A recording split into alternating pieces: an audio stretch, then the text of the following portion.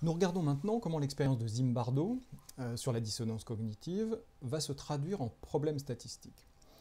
Vous avez là un graphique sur la partie gauche euh, de cet écran qui vous montre une représentation symbolique de ce qu'on peut imaginer comme le modèle de l'échantillonnage, nous allons l'appeler ainsi, le modèle de l'échantillonnage pour cette situation à deux groupes cette fois-ci. On va imaginer la chose suivante, ce que nous mesurons concrètement euh, à l'issue de l'expérience, c'est ce que nous allons appeler la fréquence de recommandation de l'expérience à quelqu'un d'autre. Vous vous rappelez, c'est la mesure comportementale qu'on s'est donnée dans cette expérience.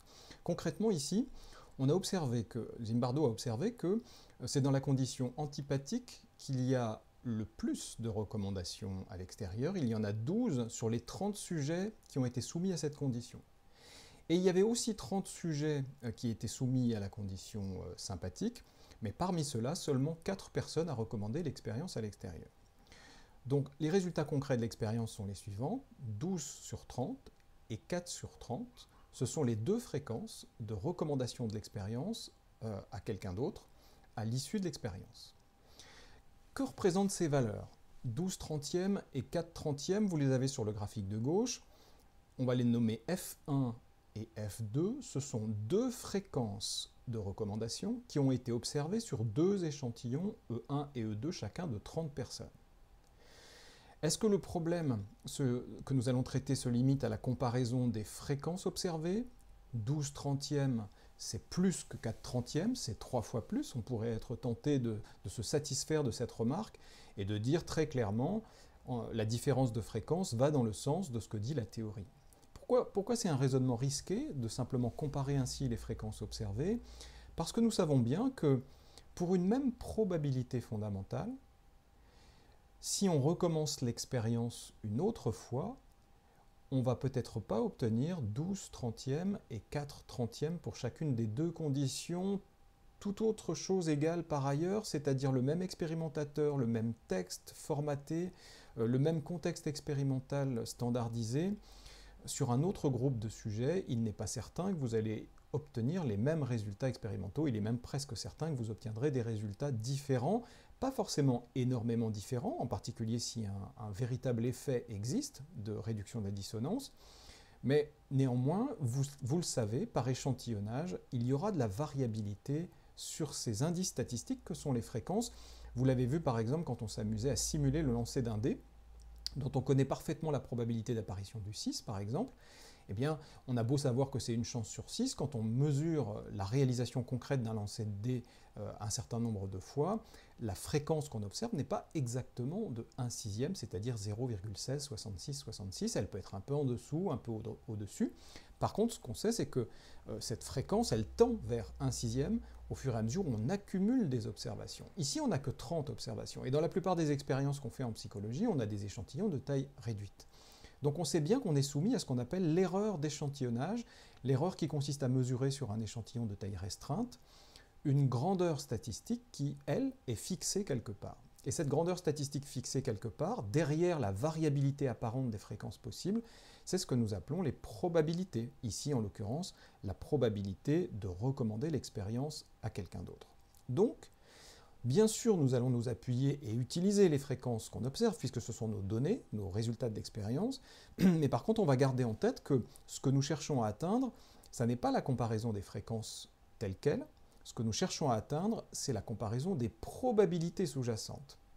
Alors ça peut paraître un peu étrange que de chercher à comparer des choses qu'on ignore, mais c'est très exactement ce qu'on fait dans ce type de situation. On est amené à comparer des quantités inconnues. Mais on cherche à les comparer à travers des choses qu'on connaît et qui sont leur émanation, leur réalisation indirecte à partir d'un mécanisme aléatoire. Si on sait spécifier ce mécanisme aléatoire, alors à partir de l'observable, on peut espérer remonter la pente et dire quelque chose de, ce qui est caché derrière, c'est-à-dire les probabilités. À partir des différences observées sur F1 et F2, ici au niveau des échantillons, au niveau des observables, on peut espérer dire quelque chose, même si c'est seulement en probabilité, on peut espérer dire quelque chose de la différence réelle entre les deux probabilités qu'on suppose derrière euh, le comportement de recommandation de à l'extérieur. On va les appeler pi1 et pi2, ces deux probabilités. Jusqu'à présent, les exemples qu'on a pris n'avaient qu'une seule probabilité en cause, on l'appelait simplement pi, mais désormais on a deux conditions, deux probabilités sous-jacentes supposées, on, leur donne donc une numérotation, pi1 et pi2, écrites en lettres grecques, et f1 et f2 sont les fréquences de réalisation du comportement. Ce, mouvement qu'on fait ici de mesurer ce qui se passe sur 30 euh, personnes dans chaque groupe, c'est ce qu'on appelle l'échantillonnage. On a pris un petit échantillon dans une population de virtuellement infinie, de plus grande taille, et les probabilités sont en quelque sorte vraies sur les populations parentes, comme on dit, sur des populations potentiellement infinies, l'ensemble des personnes que vous pourriez potentiellement faire passer par cette euh, expérience, tandis que les fréquences, elles, sont mesurées concrètement sur un sous-groupe de personnes dont l'effectif est fixé et fini. Donc ici, on va utiliser les deux fréquences 12 30e et 4 30e pour mener un, un raisonnement, mais en ne les confondant pas avec ces probabilités. Donc la question psychologique qui se trouve euh, posée ici, peut-on dire qu'il y a un effet de dissonance cognitive ici, au point que la réduction de la dissonance s'exprime plus fortement dans une condition que dans l'autre, c'est-à-dire là où il y avait le moins de justification externe. Cette question psychologique, on va, la, traduire dans une comparaison de probabilité.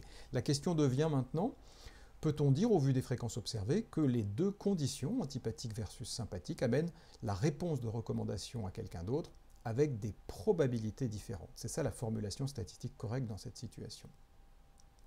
Qu'est-ce qui est spécial dans cette situation, par contre, euh, par opposition avec le, cas de figure qu'on a traité euh, auparavant, dans le chapitre précédent, sur une probabilité seulement, c'est que là, pour le coup, on est dans l'impossibilité totale d'avoir des hypothèses numériques. Vous vous rappelez, dans le chapitre précédent, on comparait une probabilité fixée à une certaine valeur numérique, par exemple un sixième, pour l'exemple de la reconnaissance euh, des coupables. Euh, on l'opposait à un modèle où on ne fixait pas cette contrainte, un modèle libre, un modèle sans contrainte, et on comparait leur vraisemblance. Là, on est dans un contexte où on manipule deux probabilités sans possibilité de faire une hypothèse sur la valeur numérique de ces probabilités inconnues. Et d'ailleurs, ce n'est pas la question, euh, ce qu'on cherche ici à faire, c'est à les comparer pour pouvoir dire éventuellement qu'elles sont égales ou différentes. Car c'est uniquement s'il y a une différence qu'on conclura que l'effet expérimental attendu existe. Donc, même si on avait la possibilité théorique euh, de définir des probabilités dans, ce contexte-là, et des probabilités d'un point de vue numérique, on n'aurait pas besoin de le faire ou on ne le ferait pas, puisque ce qui nous intéresse surtout, c'est de pouvoir porter un jugement sur simplement la différence ou l'égalité de ces probabilités, quelle que soit leur valeur, quelle que soit leur valeur numérique, et vous allez voir que l'expression quelle que soit leur valeur va prendre un sens particulier dans nos calculs. Alors on va écrire euh, ces deux euh, scénarios possibles, que sont euh, les théories qui disent la dissonance cognitive n'existe pas ou ne se manifeste pas dans cette expérience, versus oui, il y a bien un phénomène de dissonance qui cherche à se réduire dans cette expérience. Voilà les deux scénarios euh, qui peuvent s'opposer dans cette situation. Et ces deux regards théoriques différents sur la situation vont être traduits en, modèles, en modèles statistiques, dont l'un dit simplement que pi1 est égal à pi2. La probabilité de recommander l'expérience euh, à quelqu'un d'autre est exactement égale que l'expérimentateur soit sympathique ou antipathique, ce qui vient traduire le fait qu'en fait il n'y a pas de dissonance, il n'y a pas eu de tentative de réduction de dissonance, puisque en variant la présence ou l'absence ou l'intensité euh, de la justification externe, par le caractère sympathique ou antipathique de l'expérimentateur, ça ne se traduit euh, par aucune modification dans le comportement des sujets, en tout cas sur cette variable de recommandation à l'extérieur. Ça c'est le premier scénario, traduit en probabilité, on dira pi1 égale pi2. La probabilité est exactement la même dans les deux conditions de recommander l'expérience à l'extérieur. Ou bien, il y a bien un effet de, dissonance cognitive qui cherche à se réduire dans cette situation. Et dans ce cas, les deux probabilités ne doivent pas être égales, elles doivent être différentes. On pourrait éventuellement même affiner et par théorie préciser qu'on s'attend à ce qu'elles soient supérieures dans la condition euh, antipathique, mais on traitera ce cas de figure euh, un petit peu plus, plus loin. Euh, pour l'instant, on va rester simplement à une formulation un peu plus générale, un peu plus laxiste aussi, mais ça va faciliter notre traitement statistique pour l'instant. On va, avancer tout doucement euh, des, modèles les plus simples vers les modèles les plus complexes. Et on va dire simplement que ici, nous nous attendons à une différence de probabilité dans ce contexte si la théorie est correcte.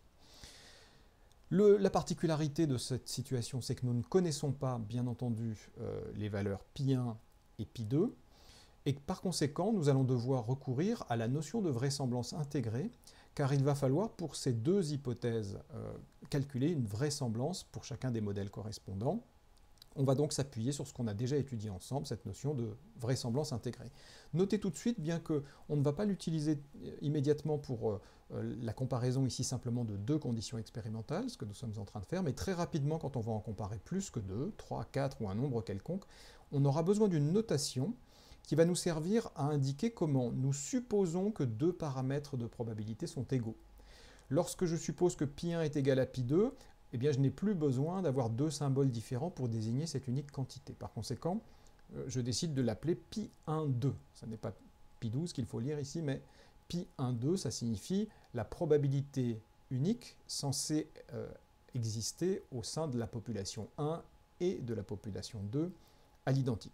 Retenez quand même cette euh, manière de noter particulière, cette manière particulière de noter les, égalités de probabilité en l'indiquant simplement euh, par une symbolique euh, euh, d'indices.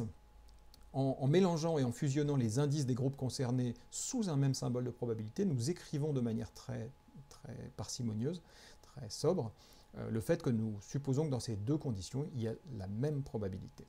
On va procéder dans la vidéo qui suit au calcul de vraisemblance ça va nous demander un petit, un petit travail de dérivation euh, mathématique qui n'est pas extrêmement compliqué, vous allez le voir, d'autant qu'on a déjà fait l'essentiel des, calculs dans les fiches précédentes. Euh, les formes finales auxquelles on arrive sont juste un petit peu plus lourdes et plus complexes parce que nous avons deux groupes au lieu d'un, mais le principe va rester absolument identique.